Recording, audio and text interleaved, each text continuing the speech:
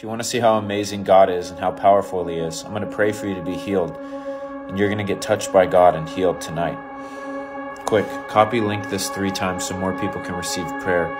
And after I pray for you, I want you to test your body out and comment what happened to you. I believe God's going to touch you right now. Ready? Watch this. This is all God, not me. God, I thank you in Jesus' name that you hear me when I pray.